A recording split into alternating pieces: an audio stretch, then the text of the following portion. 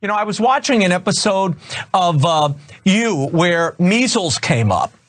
Wait, wait, wait. When did I mention measles? I don't know. It was on You. Wait, what, what, what, what was on me? What are you talking about? Right? What, is The Raymond even hearing what I'm saying? I never had the measles. Was on You. We never did a.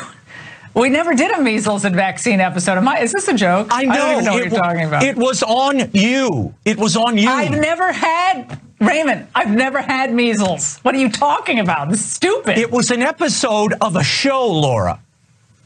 What's it called?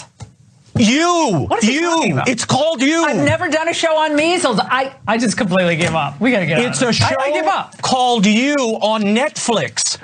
There's a show called Lowering on Netflix. Never mind. about? I'm moving on to Adele. I can't explain.